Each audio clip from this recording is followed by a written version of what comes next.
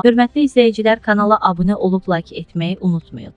Standart nümunələrin və ya ölçmə vasitələrinin tipinin təsdiqi barədə sertifikatın, həmçinin şəhadətnamənin verilməsinə görə qanunla müəyyən edilmiş məbləğdə dövlət rüsumu tutulacaq.